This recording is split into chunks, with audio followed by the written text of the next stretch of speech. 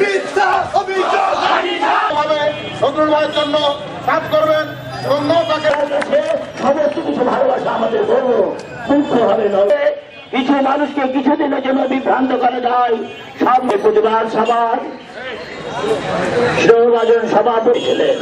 ষড়যন্ত্র চলছে ষড়যন্ত্র চলবে।